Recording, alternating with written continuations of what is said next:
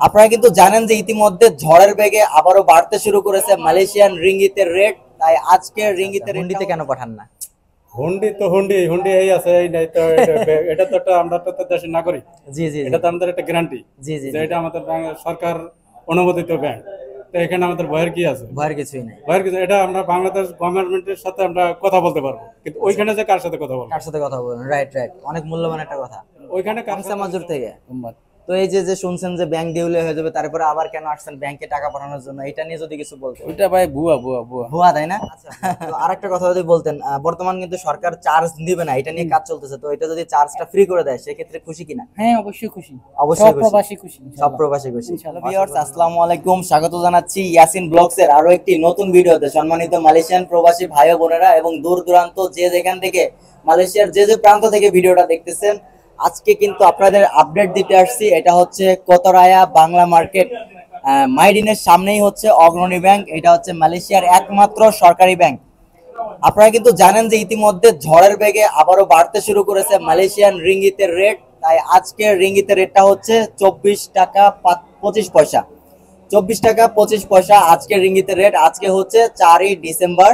তো আমরা ভিতরে ইন্টার করব এবং আজকে দেখব যে মালয়েশিয়ার দূর দূরান্ত থেকে কিন্তু অনেক প্রবাসী ভাইরা আসছেন ব্যাংকিং এর ব্যাংকের মাধ্যমে বাংলাদেশে টাকা পাঠানোর জন্য। আর ইতিমধ্যে যে একটা গুজব উঠছে যে বাংলাদেশে ব্যাংকগুলো দেউলিয়া হয়ে যাবে, এসব নিয়ে আমি একটা ভিডিও করছিলাম। আসলে এসব হচ্ছে ফালতু কথা, এসব বানোয়াটি কথা, এসব কথায় আপনাদের কোনো প্রকার কান দেওয়া যাবে না। আমরা ভিতরে এন্টার করব এবং আজকের এই ভিডিওতে আপনাদের জানানোর চেষ্টা করব যে নতুন অ্যাকাউন্ট করতে আপনাদের কি কি লাগবে এবং বর্তমান কোন কোন জায়গাতে আপনারা কতটা ফ্যাসিলিটি পাচ্ছেন কোন কোন জায়গাতে অগ্রণী ব্যাংকের শাখা রয়েছে সকল তথ্য কিন্তু আপনাদের এই ভিডিওতে দেওয়ার চেষ্টা করব তাহলে আমরা ভিতরে এন্টার করি।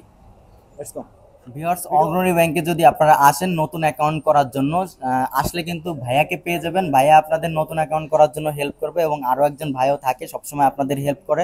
তো আমরা ভাইয়ের মুখ থেকে শুনব যে আপনারা কি কি তথ্য নিয়ে অগ্রণী ব্যাংকে আসবেন নতুন অ্যাকাউন্ট করার জন্য।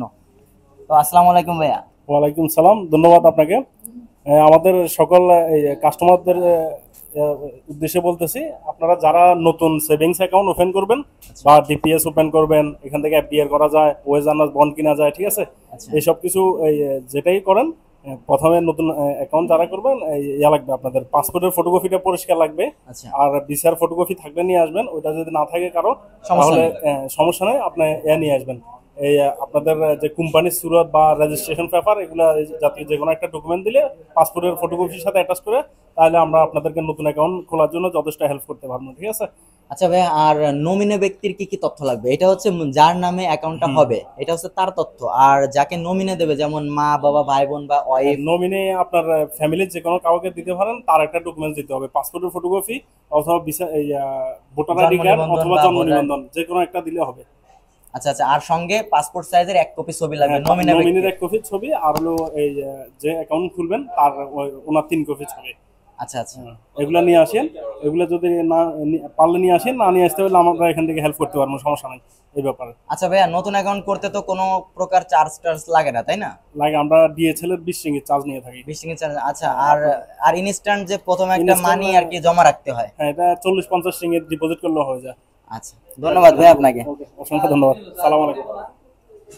তো আপনারা জানতে পারলেন আর নতুন অ্যাকাউন্ট করার ক্ষেত্রে কিন্তু এই ভাইয়াকেও পেয়ে যাবেন এখানে আসলে।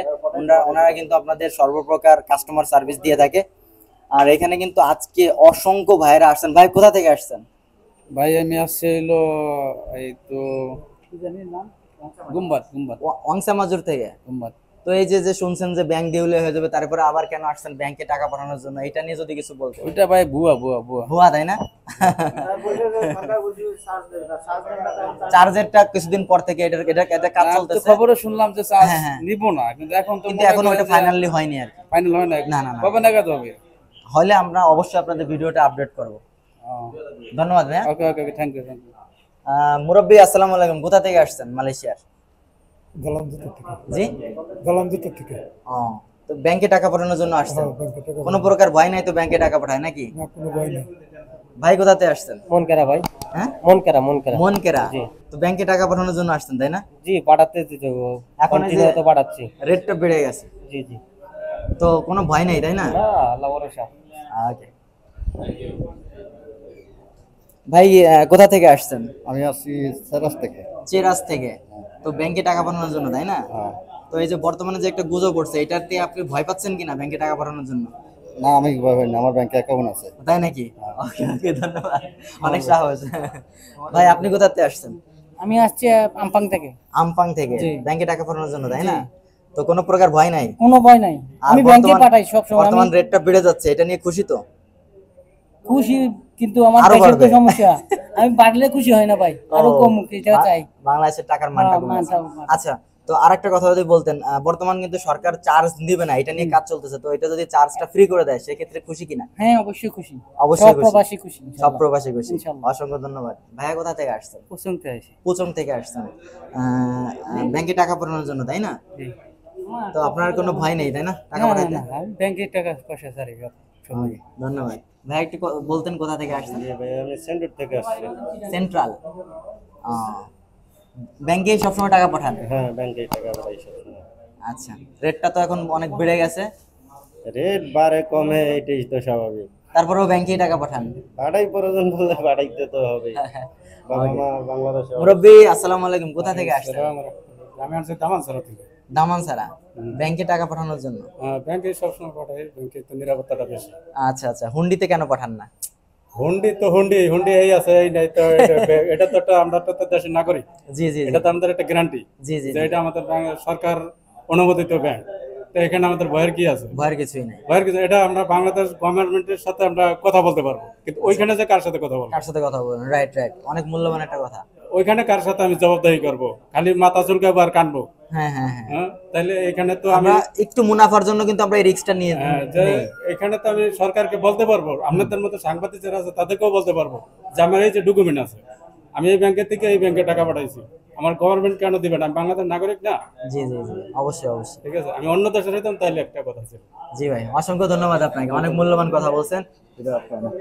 তো আপনারা এতক্ষণ অনেক কাস্টমার রিভিউ দেখলেন কাস্টমারের মুখ থেকে শুনলেন যে তারা কিন্তু একটুখানি ডরাচ্ছে না বা বর্তমান ব্যাংকের রেটটা কিন্তু অনেক বেড়ে গেছে আরও বাড়বে আশা করি। কিন্তু এই বাড়া অনেকে খুশি আবার অনেকে অখুশি। বিকজ মালয়েশিয়ান রিঙ্গিতের রেটটা যত বেড়ে যাচ্ছে, বাংলাদেশের টাকার মান তত কমে যাচ্ছে। যেমন ইন্দোনেশিয়ায় ব্যাগ ভরে টাকা নিয়ে হাতে করে অল্প কটা বাজার নিয়ে আসতে হয়, তো এরকমই কিন্তু অবস্থাটা হবে।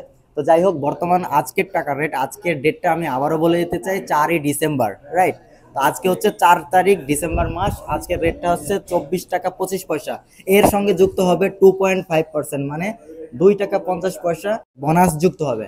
আর চার্জ তো এক্সট্রা চার্জ চার্জ নিয়ে আমি কথা বলব। বর্তমানে মালয়েশিয়া থেকে টাকা ছাড়তে হলে একটা চার্জ দেওয়া লাগে, পাঁচ রিঙ্গিত দশ রিঙ্গিত এই চার্জটা কিছুদিন পরে সরকার মৌকুব করার সিদ্ধান্ত নিয়ে কাজ করতেছে। খুব দ্রুতই এটা চার্জটা আমাদের দেওয়া লাগবে না, প্রবাসী ভাইদের। এটাও একটা গুড নিউজ হতে পারে।